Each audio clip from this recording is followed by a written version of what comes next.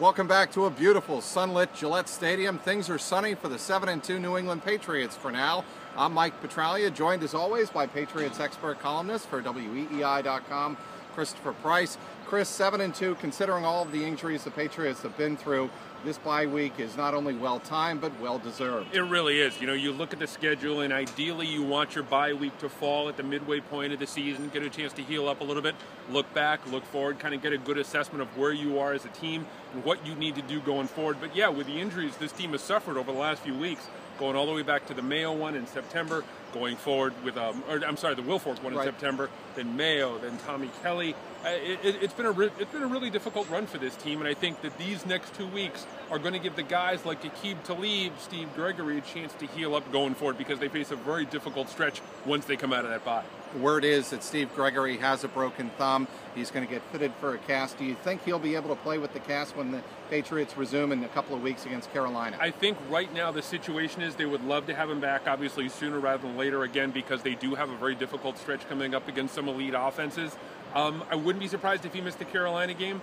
You're looking at a situation where you have the one week, you have the two weeks, and then you can come back in with a defensive back. You can wrap the hand. There are things you can do. It's not like a where it's not like a ball control situation. It's not like he's a running back or a wide receiver. So you can get him back sooner rather than later. There are things you could do to get him back to the field quickly. I know you asked Bill Belichick this this uh, during the bye week uh, news conference that he had here at Gillette.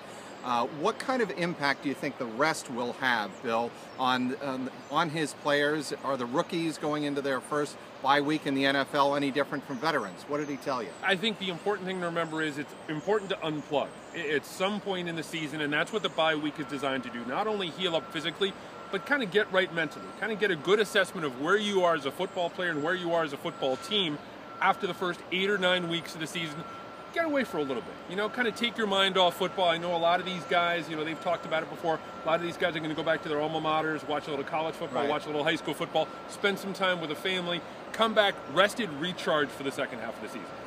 We all know here at Gillette Stadium that Bill Belichick is the professor of football emeritus, if you will, and he certainly loves bringing teaching philosophies and, and analogies uh, into his message to players. I found it very interesting that once again he said he brought one into the, the mix this week, saying, you know, for once it's nice not to have to prepare for a final exam type of um, situation that these NFL players, our players, go through every single week. There is that aspect of getting away from football as well. It is too, and it's really important because it's a long season. We kind of take it for granted a little bit, but you know, you, you, you talk about how important it is to get away and again to recharge and to kind of get refreshed because so much of the important football, the really important football, is after the bye week, is in November and December. Look, you only play 16 of these games, so all the games are important, but the really important football comes at this time of the year. You know, you start to ramp up. And again, that bye is going to give these guys an opportunity to get away from the game, to get mentally and physically refreshed for the second half of the season.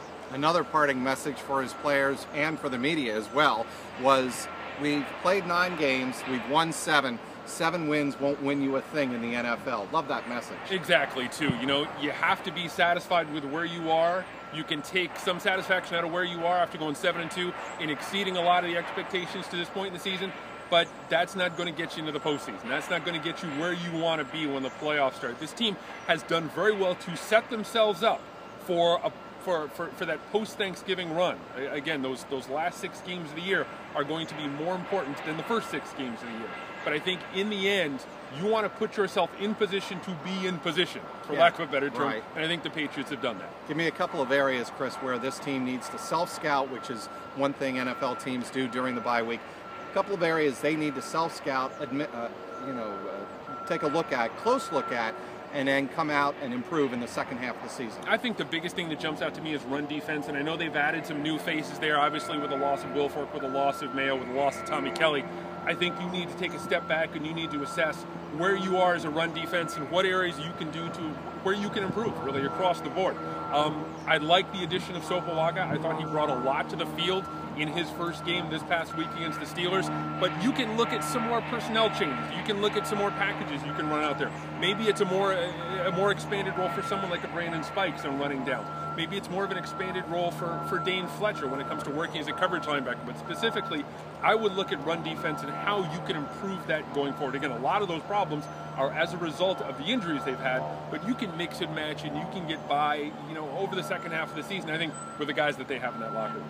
Off the beaten path a little bit, Chris. Uh, I had a chance to ask Belichick to wrap up the, the news conference about the Richie Incognito uh, situation down in Miami, and I simply asked Bill how much he appreciates having leadership in his locker room that he really doesn't seemingly ever have to worry about uh, problems like this. Certainly not on on a scale like this. Your impression of the way leadership is handled in the Patriots locker room, especially going into the bye? I think it's fascinating too because you can trace back over the last 10 or so years the evolution of leadership on this team, and usually it's been pretty good. They've had a few tipping points. They've been close to tipping points, right. particularly in 2009. Every team does. Exactly, yeah, and every team goes through that, and every locker room goes through that. But they were able to kind of tighten things up in 2010. They were able to bring in veterans like Alge Crumpler that offseason. Right. They brought back Vince Wilfork, who was a tremendous part of that leadership group. I think it's important to maintain an open dialogue between the captains and the coaches. I think a lot of what went on in Miami is incumbent upon the coaches. It's incumbent upon the assistant coaches, the position coaches, right. to sniff that kind of stuff out and figure out what's happening before it becomes a problem. And I think here in New England, at least history tells us that some stuff has happened. You know, and, I'll put I'll put my finger quotes up here: hazing, you know, I, I, think there have been some situations where guys have felt uncomfortable, but I think in every situation, the leadership, the assistant coaches, the head coaches, they've moved quickly to take care of that problem.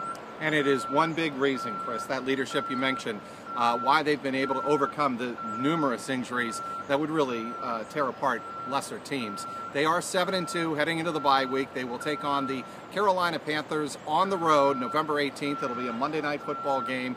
Uh, it'll be interesting to see how they start. The Carolina Panthers are no joke this year, so uh, the Patriots have a little bit extra time to prepare for Cam Newton and company.